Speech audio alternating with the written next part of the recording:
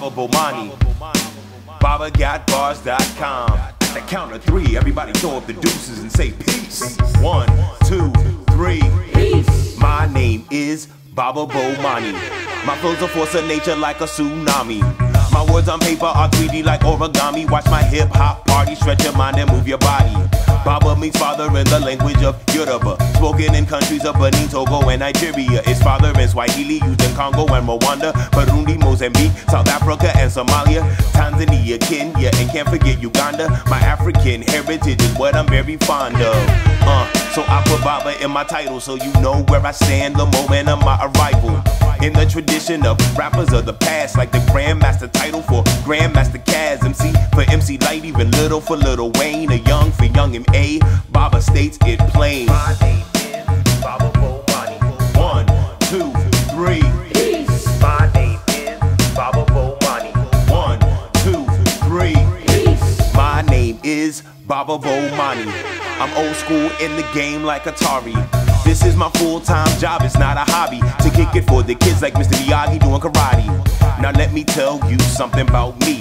My name comes from the countries of Malawi, Tanzania, Zambia, and even Mozambique. Depends on what indigenous language that they speak. Bomani means warrior to the Ngoni.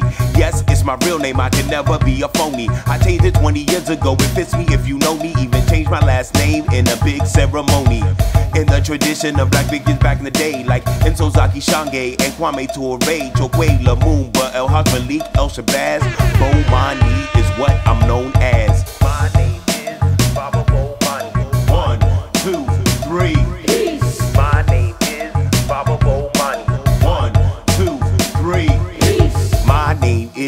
Baba Bomani. My flow rides on the track like a Maserati. Get my speaking from my daddy and my good looks from my mommy. Cause I'm a black star like my man Marcus Garvey. My last name is pronounced Armah.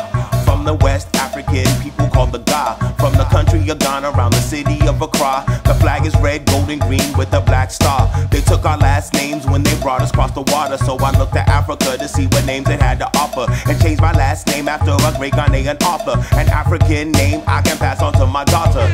Uh, or I can pass it to my son. They might change it one day. I can't control who they'll become. But when they ask why I did what I've done, I say I'm building a tradition, not resting upon one. Uh. My name is Baba. One, two, three.